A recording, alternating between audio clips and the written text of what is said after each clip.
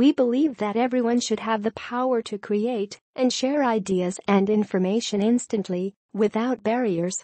In order to protect the experience and safety of people who use Twitter, there are some limitations on the type of content and behavior that we allow.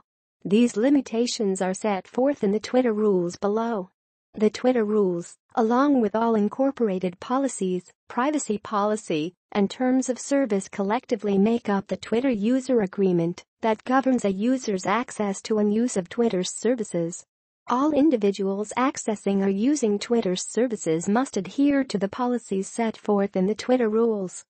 Failure to do so may result in Twitter taking one or more of the following enforcement actions, requiring you to delete prohibited content before you can again create new posts and interact with other Twitter users.